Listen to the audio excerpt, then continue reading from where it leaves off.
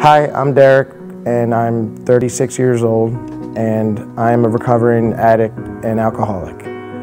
About the time I was a teenager, turned, you know, 13, I'd say, I, uh, I started smoking marijuana and drinking alcohol heavily.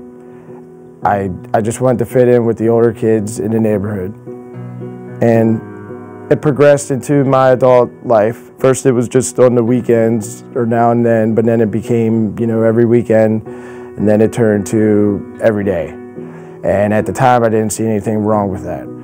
But then it started to affect my friends and family and relationships and whatnot.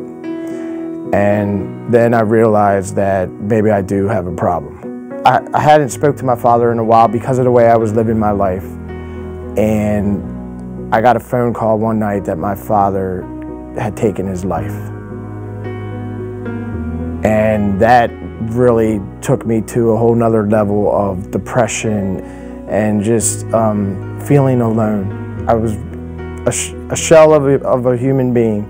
You know, I, I uh, spiritually and, and, mentally and physically, I felt broken. It got ugly. And um, I knew right then and there that if I was going to keep going down this path, it was a path of destruction. And I, I, I just knew deep down inside that I needed God, that that was the only way I was going to get out of this mess. A friend of mine, he had gotten a DUI, and a friend of the family told him about Celebrate Recovery at Mountain. And he asked me if I wanted to go, and I was, I said, sure.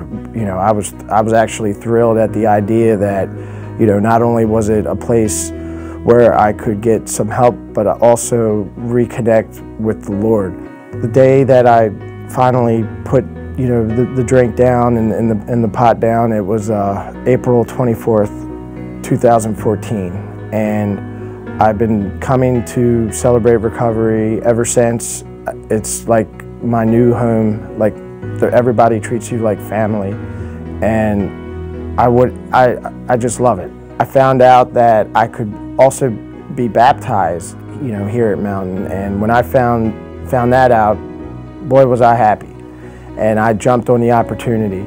And today, yes, I lost my father, but I gained the ultimate father in heaven. And I can honestly say that being sober today is is a miracle and it's it's the miracle of Christ.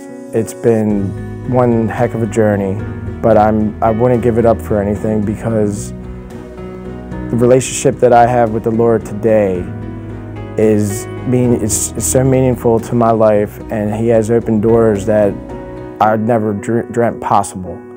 And I'm very thankful that we have a God that is for the addicted.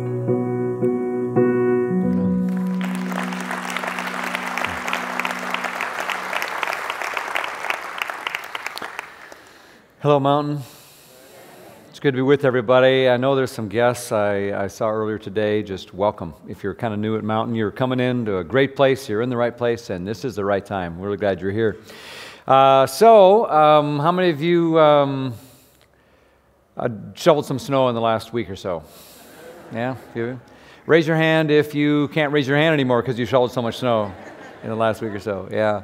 Um, yeah, you know, a lot of you know I'm from Minnesota, so I'm kind of always a little bit of a snob about this whole thing. It's like no big deal. And so you've been asking me, is this like, are you happy now? And I, this was, this was almost a real storm. I'll give you that. Uh, you know, my folks from Minnesota, and they're kind of unimpressed by all this, you know, and they're like, well, did you get anything over there? Or what's all the hype about? And so I, I took a picture out my yard and sent it to them. This is the picture I sent, just to give them an idea of what we were going through out here, you know, just because it's not Minnesota doesn't mean we get real snow. So, you know, uh, pretty much everyone's sick of it. Are you sick of it yet? Yeah, yeah. No, well, nobody is as sick of it as this guy. I took a picture of him on the side of the road. He's apparently had it up to here. He wants out. Go to Florida. Uh, so, you know, the timing was perfect. Uh, last week we didn't have services, and so uh, we quickly scrambled and put together this service and sent it out. I hope you got a chance to participate in that. Some of you get a chance to do that, I hope, in your homes and, and whatever else. And it was perfect timing with our brand new website, which is mountaincc.org. Brand new website. And so it drove, we were trying to figure out, well, how can we get people to go to our website? Well, 57,000 people trafficked our website last weekend and took advantage of the service. Uh, we don't know how many of them, probably six, 10,000 to the service, but that was a great thing. Super proud of the people who put the service together and uh, got that ramped up while you all were home, you know, uh, holding on to your toilet paper and, and, eggs and milk. They were here working on Friday and got it all done. And then uh, the new website team got that, their stuff out. So just a great uh, kind of a God incidence there and how that worked out. We're moving forward in our series God for the rest of us. A lot of it comes from my friend Vince Antonucci. The ideas come from him in a book he wrote, God for the Rest of Us. Highly recommended. Uh, take that home with you. Um, grab it today if you want to. But it's just a reminder that God isn't who we think He is many times. He's not for someone else, He's for us. And we started talking about how he's, God is a God for the broken. It's extremely important to get that. And then last week in the blizzard, we talked about how God is a God for the stuck. And uh, in future weeks, we'll be talking about how God, you know, is a God for dysfunctional families and how God is a God for the unloved, unloved and forgotten. How God is a God for, for skeptics and atheists and people with lots of doubts, and even a God for those who have been really turned off by the church. Today, what we want to do is talk about some things that I believe are going to turn the key and swing the door open and set some people free. Take a look at this picture. This is a guy named Ray Hinton. Uh, Ray Hinton was 30 years old when he was convicted of murdering two restaurant managers and sent to Alabama's death row. When he was 57 years old, 27 years later, the Supreme Court got looking into it and discovered that that conviction was all based on this kind of racially motivated and shoddily conducted trial that resulted in jailing an innocent man. And so they sent him back for another trial, and uh, of course, this time around, uh, with the, the, modern evidence and all, Ray Hinton was exonerated. And 60 Minutes ran a feature on this. It's fascinating to hear this guy talk about what the horror was like in prison for him, especially where he was in so much of his time in solitary and also right down the hall, literally being able to smell the wafting odors from the electric chairs. He would watch one and then another and another go, knowing that he was next, inevitably on his way uh, to death. And you know, it was just an interesting description of a life. He said technically breathing, alive, but not really living imprisoned there. And you know what? There, there are millions of people, many of whom are in this room and listening to my voice right now, who live the exact same way. Not literally in a jail cell with bars, but very much imprisoned. People who could and should be free, but who are very much not free. Some of you know what I'm talking about. I think all of us know what I'm talking about. Sin has a way of getting its hooks in us and not letting us go, taking us further than we wanted to go with it. And one of the most infamous ways that Satan, our spiritual enemy, uses to get his hooks in people is by leading us, convincing us to to turn away from God for our primary source of sustenance and life and hope and joy, and to turn to something else or to someone else, and to, to try to find ourselves there, and to, to seek out in this other thing, person, substance, whatever, a way to maybe numb our pain or find our joy or to escape life or to feel good or to have fun or to latch onto it in some way that'll add meaning and depth and just kind of just help us along. And what happens is when our heart latches on, sometimes it, it gets stuck in there and follows that thing where it takes us. And that thing becomes something we need in ever increasing measure to sort of get back to normal. And before long, this thing that we thought would bring us relief becomes the, the thing that has now entrapped us. We find ourselves living in a prison of our own making. Sin itself is addiction. addiction is sin, and addiction is sin. And We all know what that's like to live as a slave to something that we feel unable to sort of change, and yet it's the thing that we need and want, and yet it's the thing that we hate the most. It's like jail, and it leads to a kind of hopelessness, doesn't it? It leads to the robbing of so much from our lives. Um, addiction robs you of good years and good days and good relationships robs you of good, real good feelings. It robs you of joy, it robs you of hope. And it's a place of horror where you're technically alive, you're going through the motions, you're raising a family, you're living, you're going to work, but really there's this thing that sort of just keeps you trapped, and you come to just like Ray Hinton, accept it and resign that it's the way it is on death row. Can you imagine? Can you imagine what it would have felt like for Ray Hinton that day when they told him he could go free? Can you kind of feel that, what that would be like for him? When the door swung open and they pointed to the shafts of light and said, You can go. You have a future again. It was on 60 Minutes, they ran a story on this, and Scott Pelley asked him that question, and he was like, I, I felt like I was walking on clouds. I was afraid to believe it. You know, he just went through the emotions and how odd and you know, crazy it was for him to be free. Because he didn't think he could be. And a lot of people live like that. First place he went was to the cemetery to visit his mother, who died thinking he was going to do the same in prison. Addictions like that, we lose a lot, we lose a lot while we're locked up by way of relationships and things that matter to us. Hinton says it was my abiding faith in God, instilled to me by my mother, that helped me survive decades in that eight by five foot cell. And then he says this My faith teaches me that God may not come when you want him, but he always on time. Friends, Ray Hinton didn't know if he'd ever be free. He didn't know. He thought he might die there. But, friends, he walked free from that prison cell. And so can you. So can you. From whatever is confining and holding back, imprisoning you, whatever power, whatever stronghold, whatever addiction, whatever thing it is, you can and should be free. And we want to strike that note of hope today and swing some doors open for some people. Because God wants to do for you what happened to Ray Hinton. There is hope.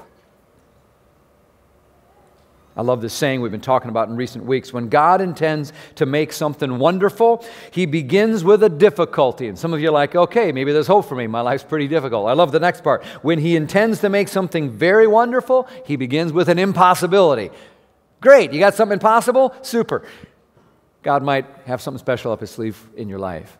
And there's nothing more impossible feeling than the grip of addiction when we feel totally powerless to change something that we really want to in our lives and we've tried and it can't, and then God comes and reminds us nothing is impossible with God. I was with the elders the other night. One of our team members, Eric, was talking about uh, this, giving a devotion. He shared these words. He said, Every miracle starts with a problem. I thought that's exactly right. You know what? You want a miracle, it's because you've got to have some problem, right? So you got a problem? No problem. God's got a miracle. You don't have a problem, you got a problem because there's no miracle going to happen. If you got a big problem, big miracle. Some of you need to have that word of hope leak into your cell today. I love this one a reminder that, that addiction it's a manifestation of our brokenness and we're all broken right and, and addiction becomes one of the ways that our brokenness comes to the surface but friend brokenness is where the light gets in if we'll acknowledge the brokenness, even if it's addiction, that's where the light comes in and begins to heal.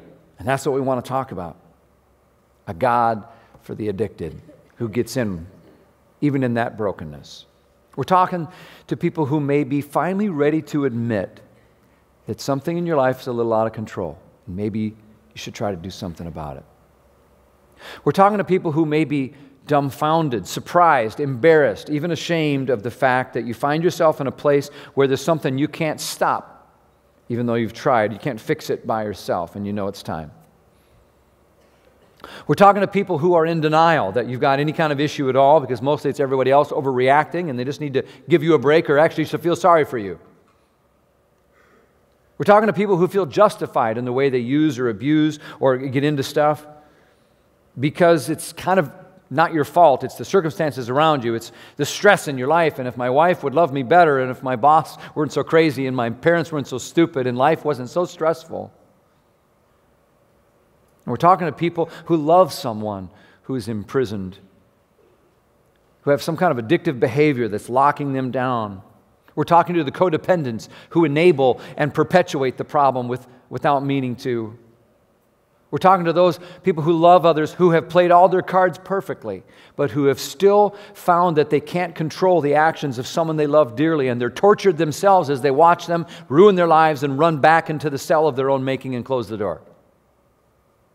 And we're talking to people like us, the rest of us, all of us, who know what it's like to have power at work in us and through us and around the world that somehow greater things that get their meat hooks in our heart and take us to places we don't want to go, make us stay places longer than we want to be, and, and people like us who just know that we have turned too often to some substitute for the God shaped hole inside of us, and when we do, it always leads us someplace where we can get stuck and find ourselves in prison.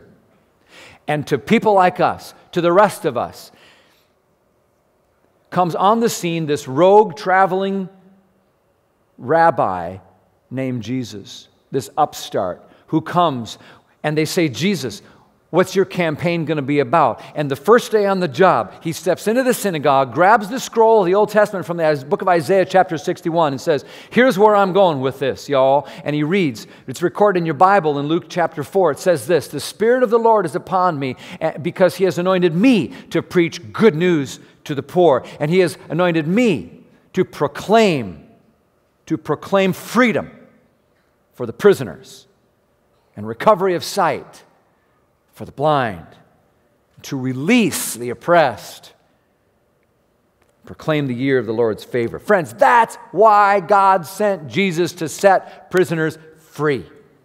And Jesus says, you know what? You'll know the truth, and when you do, that truth will set you free. And then he said, I am the way and the truth and the life. And if you've been set free by this, you've been set free by the Son, you'll be free indeed. And a lot of people in this church have experienced that truth.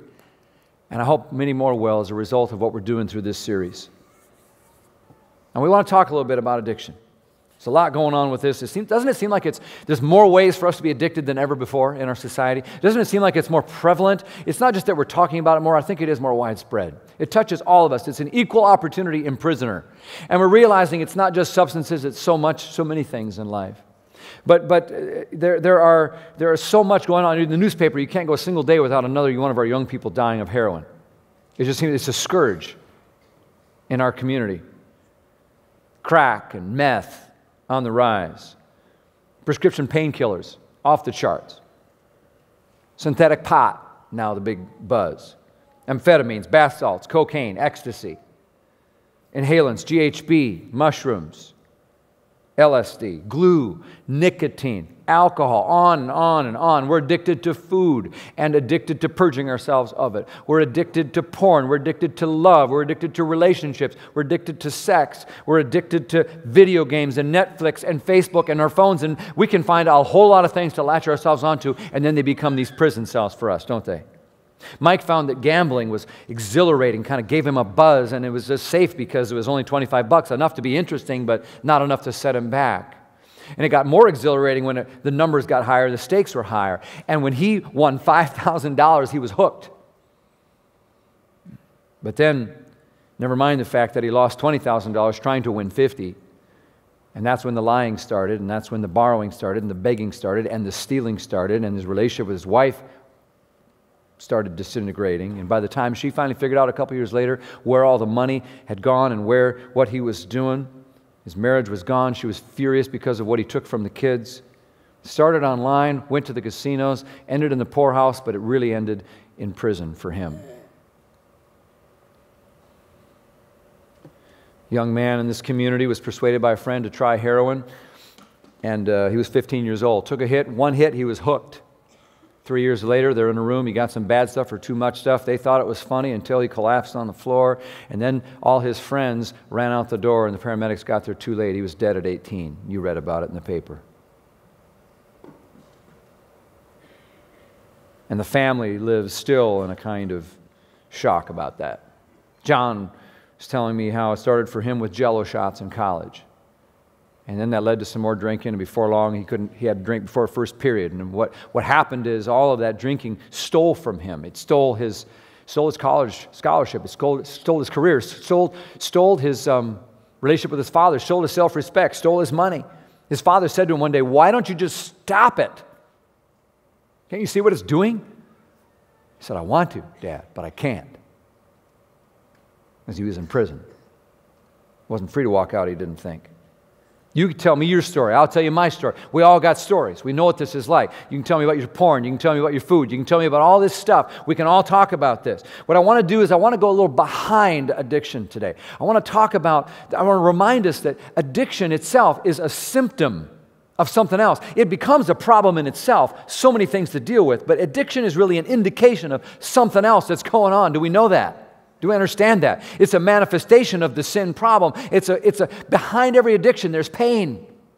And I want to talk about one of the kinds of pain that's so important for us to understand because it can set us, the key to help getting us set free, and that is the word shame.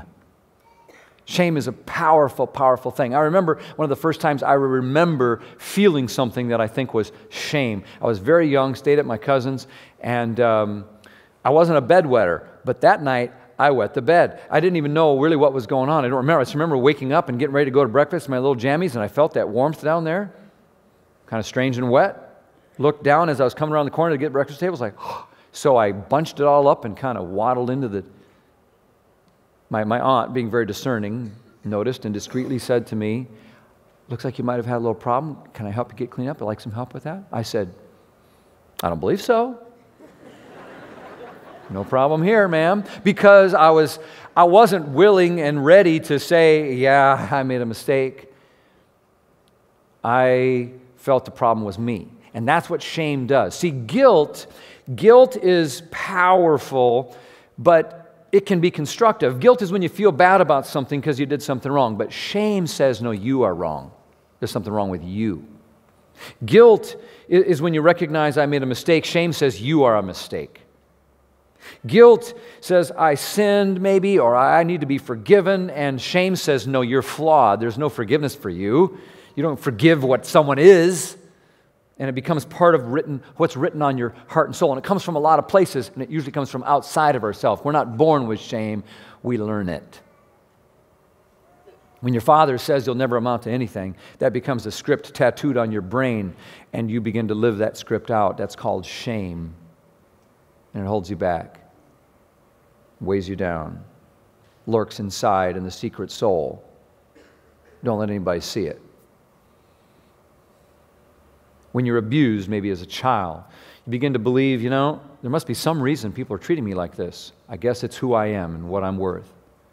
And you begin to believe that. That's called shame. When your grandma teases you that you know you should really lose weight because the boys won't like you if you're too heavy, but you don't lose weight. That shame teaches you to keep everyone at arm's length for the rest of your life. And even when people try to approach you and get intimate and come close and be your friend, you're like, you don't believe it because you know better because you're not worth loving. See, see how shame works? It comes a lot of different ways in our lives, and for whatever reason, we all have it and we deal with it in different ways, and it leads us to different things. Let me kind of picture something that will maybe help uh, you understand how this can lead to such destructive things in our lives. So, shame begins here, and we all experience it at some level. And what happens is it leads us eventually to act out on in some way, to act out in some behavior, some substance, some thing that will maybe numb the pain, help me escape, help me kind of just relieve or get away from this or whatever. And there's usually a trigger, a trigger event that leads to the acting out. The trigger might be it's when I, you know, um, I feel embarrassed or I feel lonely or angry or hungry or tired or I want to celebrate, or I'm feeling particularly down, or a certain group of people, or certain friends. They can, all these things can be triggers. And then the trigger kind of leads us into that experience. And we learn that, oh, this connects to that. And we get this whole series of events, like an irresistible flow of dominoes that we ritualize in our mind and we go through it every time. When the, when the trigger comes, we know right where it's going. And it goes back to this thing that draws us in. And sometimes there's psychological and biological and physiological magnets that draw us back to that same behavior, action, or thing we do, triggered by the triggers. right? And where that leads inevitably is down here then. We feel good. I mean, that's why that's why we sought it out. There's a high, there's a buzz. It stimulates our pleasure centers. There's some kind of escape. I feel numb. I forget about my troubles. I, I, I, get caught up, or the risk of it, or the adrenaline pump, or the fear of getting caught. All of that is part of what feels good. The dopamine that gets released, all of that stuff. Now, it feels good, but it's always short lived and it's always shallow. And it leads very quickly. And by the way, the longer you're in this cycle, this lasts shorter and shorter. And it leads us inevitably over here, where I feel bad now. Sometimes it's pretty soon where I just get sick or throw up or hover over the toilet. But I feel bad in physical ways. I feel bad sometimes in just self loathing, disgust, disappointment like, what was I thinking? What was I doing? And then uh, socially, friends start to treat you differently, or your boss says you made an idiot of yourself, or you get the DUI, or you realize you don't have any money anymore, or your friends change, or your emotions level out. You never have real highs or lows. You don't laugh or cry normally, or you just, you have all of these things. Your world just shrinks and it becomes more self oriented and you realize it and you say, Man, I've got to do something. I'm going to change. That was the last time. And you're certain that you're, you're not going to do it again, but you know deep down you will because you're just a bad person who can't stop. And then the shame escalates and the trigger comes and we act it out and the cycle continues, rinse and repeat. And this spinning is a drain that leads people straight down into a prison cell that many never escape from.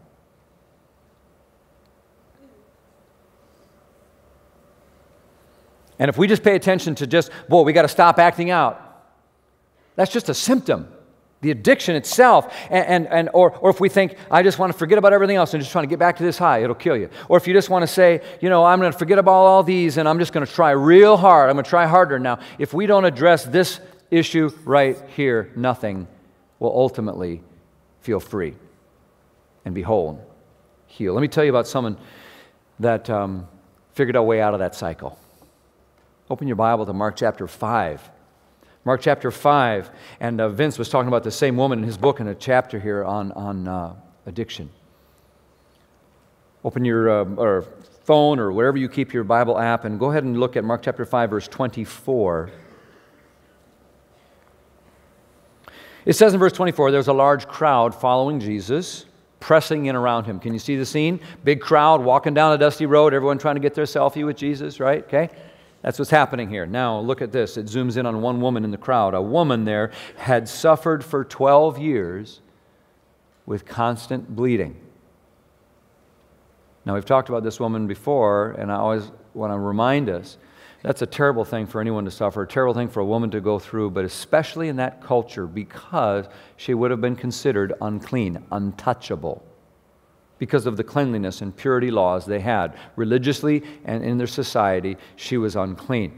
They had very particular laws and rituals you would have to go through when there were bodily fluids associated. So, a man, if a man would emit um, bodily fluids of a certain kind, then he would have to go through a ritual of purification afterwards to be clean again. And a woman, during her monthly cycle, she was considered unclean, and anything she touched was unclean. And after it was over, she would have to go through this purification ritual. Well, her problem was worse because it never ended. And the Bible actually said in the Old Testament scriptures, under the law of ritual purity in her culture, in ch- chapter 15 of Leviticus, says this When a woman has a discharge of blood for many days at a time, other than her monthly period, or has a discharge that continues beyond her period, well, she'll be unclean as long as she has the discharge. And what's worse is it goes on to say that anything she touches is unclean, and anyone who touches anything she touches, they are now unclean. So, this woman, you see, she's isolated, she's cut off, she's a pariah in society, she's walking pollution. And her biggest problem now is not that her body is broken, but that her soul is broken. And this is a woman, there's no question, the kind of shame that she lives with, drowning in it. Brene Brown writes a lot on this concept and has this to say about shame it's the intensely painful feeling or experience of believing that we're flawed and therefore unworthy of acceptance or belonging. And that's what that woman felt, and some of us feel that way too, deep down. And when you look at this woman and her experience, it really describes the life of an addict. I mean, think about it. Verse 26 she had suffered a great deal, so much pain. And it had gone on over the years. How long is this going to go on? It's been for years sometimes, months. You keep thinking it's going to stop, it doesn't. Spend everything she had to pay. Think of the cost financially and in so many other ways. But she'd gotten no better. In fact, she'd only gotten worse. Does that sound familiar to any of us? This irreversible cycle of hopelessness. And yet, this woman, she heard rumors about this traveling rabbi, Jesus, and he had shown up places and he was from God. He had power, but he was also good. Power and goodness together. Now, that's something that will make you hope. And she'd heard that he was touching people and they were healed. And she wondered if that's something that could maybe happen for her. Just like some of us are wondering if that could ever happen for me. Could the power and the goodness of Jesus affect my life? Or is that just for everybody else? And she figured out that Jesus was her last hope, just like we eventually will figure it out. He's our last hope. But how? How can she approach him? She can't even go out in public. She can't get in the crowd and mix it up. She can't touch anyone. So she just has to kind of be invisible and try to sh- just hide in her shame, and that's, that's what happens to us. The thing we need the most, we won't approach because we can't, and we're stuck in a prison cycle. You ever wonder how long it took her to muster up her courage to reach out and touch Jesus? Verse 27 says this She had heard about Jesus, so she came up behind him through the crowd and she touched his robe. Can you see the woman working away? She makes a decision. She musters up her courage to go for it, dive, make her move. You know, in Celebrate Recovery, we have an awesome community you heard Derek talk about every Friday night, but it's scary sometimes to make your move and go. One guy, he, uh, he came in the first week. He only got halfway into the commons here at Mountain Road where we meet. He only got halfway and he didn't go anywhere near the cafe where, the, where everyone's hanging out and doing the meeting. He, just, he got in, someone said, Would you like to come in? He said, I can't do that fidgeted, walked around, and left. Came back the next week, though, and he went like three quarters of the way through the Commons. You want to come on in? No, I can't do that. And he left. The third week, he got all the way up to the door of the cafe and looked in. And the fourth week, he didn't come back. But the fifth week, he did come back and he actually went right inside the cafe door just to see what was going on, checked it out. They said, Would you like to stay? He said, I can't do that. And he left. In the sixth week, he didn't come back. But on week seven, he came, he went in, went into the cafe, and someone said, Would you like to join this small group and just visit? Because there are people who were dealing with the same things that he was struggling with. And he said yes. And now he's part of that group and he's filing wholeness and help. But it took him seven weeks. I don't know how long it took this woman, maybe all of her 12 years. I don't know how long it's going to take you. But at some point, we dive, we make our move, we trust that the goodness and the power of Jesus will be there to meet us and help us. You got to make your move. You got you got to make your move. Verse 28. I love the faith of this woman. Faith and desperation are a powerful combo, right? faith and desperation. Look at this. For she thought to herself, if I can just touch his robe, I will be healed. Powerful combination. And then this beautiful word in Scripture. She's got a big problem. She's about to have a big miracle. Verse 29 immediately the bleeding stopped. And she could feel in her body that she'd been healed of her terrible condition. Amazing. And somehow God did that in that woman, and she was healed physically. Now, my friend Vince pointed out, notice though, that she's focused on her body and the physical healing, the problem with her blood. But we all know something she probably didn't fully realize in the moment, and that is that there's something much deeper inside of her that still needs healing, right? There's something about her brokenness and her shame that's still broken. Her primary problem was not her bleeding, friends, it was her shame. And so she's received healing from her bleeding. She thinks she's going to slink away in the crowd now and just go back home and be okay. Shame doesn't let us present ourselves to people. See, it sabotages our efforts to be authentic. We can't ever take our mask off because we know if we did, we wouldn't be accepted. It's impossible to be real when you're ashamed of who you think you are. I read a book recently called Scary Close by Donald Miller, and he really helped me understand something here. Let me draw a picture. This is what he says is true for all of us. There's a real you right here. It's the you you were created to be, it's a beautiful you. Okay? It's who you're supposed to be. But the problem is that somewhere along the line, we be, we start to believe that the real you isn't good enough, that we're unworthy. And so we have this feeling that just engulfs us that we're not really lovable or worth loving. And that feeling that engulfs us just kind of hides us to protect us. It's called shame. And you don't want anyone to see the real you because the real you's not lovable. And that shame just becomes this coating around us. But you don't want people to see your shame either. That's no good. And so, what we learn to do is create a false self around that, a version of ourselves that we put out there to the world to try to win approval, to try to be loved. Not the real us, but some version of us. So we become that successful guy, or that smart girl, or that achiever, or that funny person, or that, that person who's, who's easy. To create a, a version of ourselves that maybe the world will accept and what's needed for us. The, the, the, the, you and me that's hiding down here is for some power and goodness to break through that outer ring of the false self, through the shame, all the way down to the real you and me. And that's what Jesus understood, and that's what he does for this woman. If you look at verse 30, he doesn't want to let this woman slip away into the crowd, even though she's been healed of her physical healing. Verse 30 Jesus realized at once healing power had gone out from him. So he turned around in the crowd and he asked, Who touched my robe? Of course, the disciples pick up on that. They think it's funny. Verse 31, they say, Look, the crowd pressing in on you. How can you ask who touched me? Jesus, everybody touched you. But he kept on looking around to see who had done it because I think he knew this woman, even though she's physically healed, she needed more. And what I love about this story is what happens next. This woman could have just slinked away, as she turns back toward Jesus and she dared to trust him. That he didn't just have power to heal her, but that he had goodness in him to help her. And in a moment of frightening vulnerability, this incredible moment happens when she finds a deeper and more important healing from the symptom.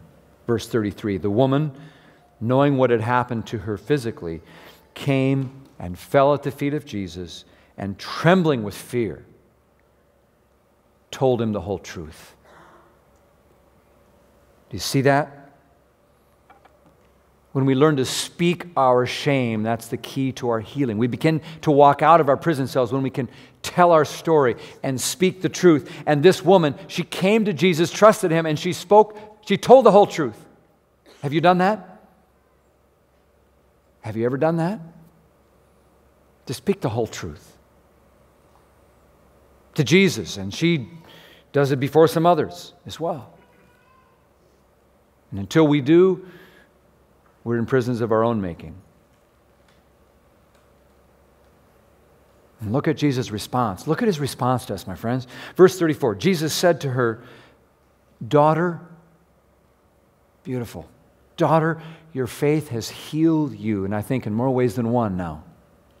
So go in peace, finally, peace, and be free, free from your suffering.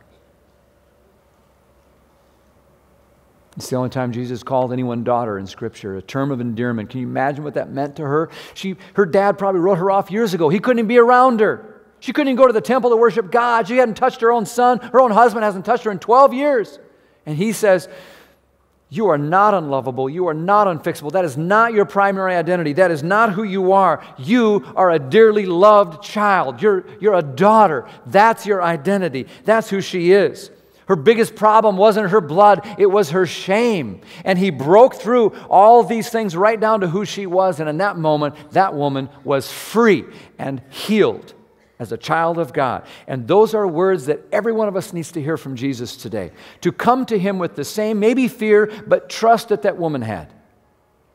And then to hear him say, My son, my child, my daughter, you're free and you can have peace at last.